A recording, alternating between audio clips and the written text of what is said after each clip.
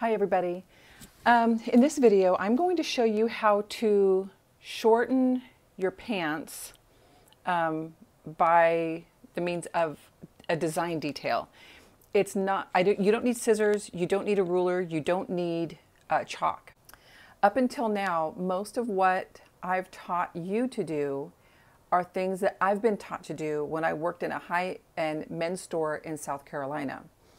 Now I'm showing you something um, that is more instinctual to me and how I do my own alterations.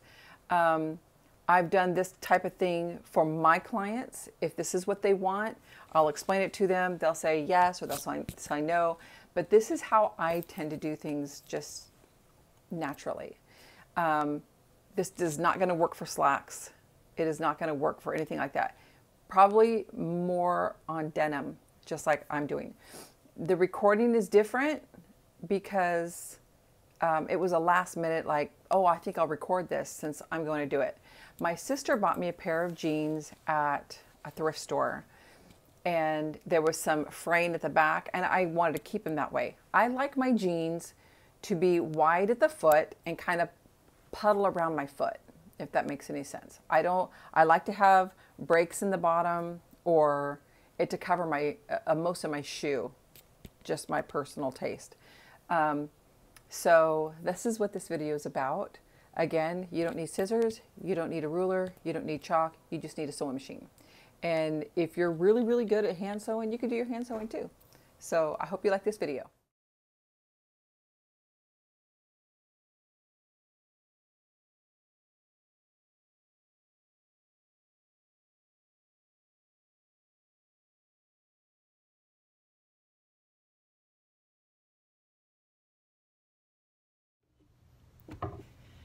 Okay, um, in this video I'm going to show you how to to shorten these pants without having to remove the hem.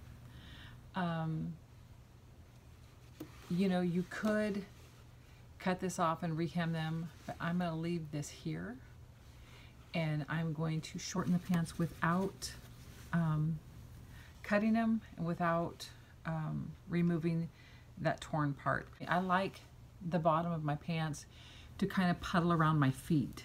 So I don't want to take off any of the width, um, but this is how I have figured out how to shorten them without having to cut anything off. And um, I'm not going to uh, mark anything like I normally do. When I'm doing work for other people, I will mark it, but this is for myself and I tend to do things a little differently when I'm sewing for myself. So the first thing I'm going to do is I'm going to fold this up and I'm going to align, you can see the little, you could feel a little ridge here, you can see it too.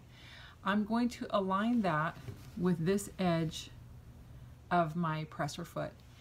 And I'm going to um, fold this under just to where my needle is going to um, sew right there next to the fold. And this is called a pin tuck. And because I'm using this edge, this little ridge right here as a guide, I don't need to mark anything. So I'm going to do, be doing the whole thing like that. So I'm going to start here where it's frayed and I'm going to sew all the way around. And what happens is this ends up being um, more of a design detail. So you're shortening your pants, but it's uh, it's going to look more like a, a design. So you can make this, these pin tucks as small or as large as you want. Um, if your pants are very tapered, you know, from they, they're thinner at the knee and they go out at the hem, you're going to have to do small pin tucks because um, obviously the higher up you go on the leg, the smaller the width. So you can't do too much or there's going to be um, puckering. So this is how I'm doing it.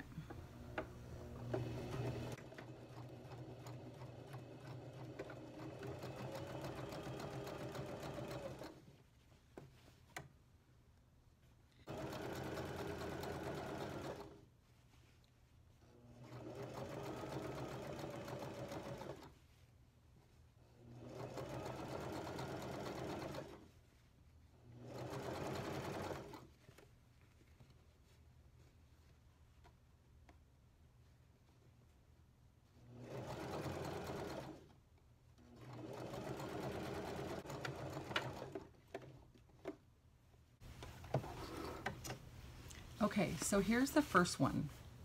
And that's what it's going to look like. This is, um, I had these in here before, um, but for the purposes of this video, I removed them. But I actually like this length of um, pin tuck. Um, the other ones were much smaller, but the smaller the pin tucks, the more you're going to have to put on. And if you like a lot of them, then go ahead. But if you want just a couple, um, or maybe four or five, then you can just do it like this. Now what you're going to do is fold this up again, and you're going to back, you're going to go back over it, and you'll just align, I'm sorry, you'll just align your presser foot against this first um, seam that you created, this first pin tuck, and then make sure that your needle goes in here where you want it to create the length of pin tuck that you want.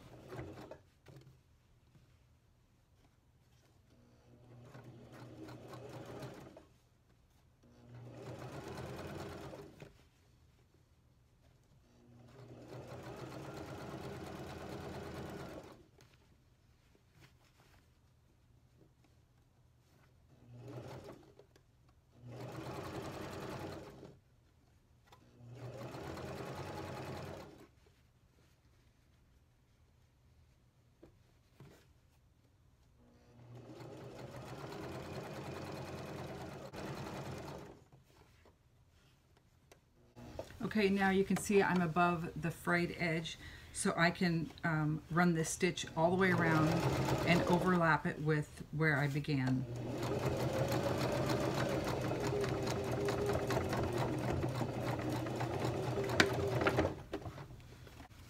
Okay, so there's the second one. And once you're finished, you can press all of these down.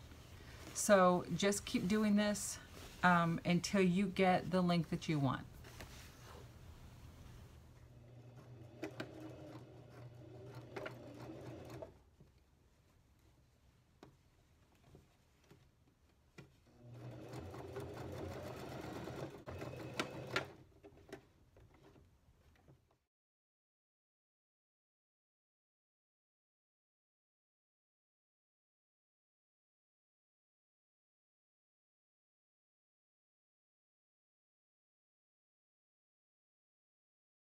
Thank you for watching this video. I hope you guys enjoyed it. I hope you guys um, not only learned something, but maybe it triggered an idea for something else for you to do. Um, I don't only want to teach you how to sew, but I want to trigger new ideas in you. So um, if you like this video, give it a thumbs up. Um, don't forget to subscribe to my channel if you're not already and hit the bell so you're notified when I upload more videos. Thank you. Bye.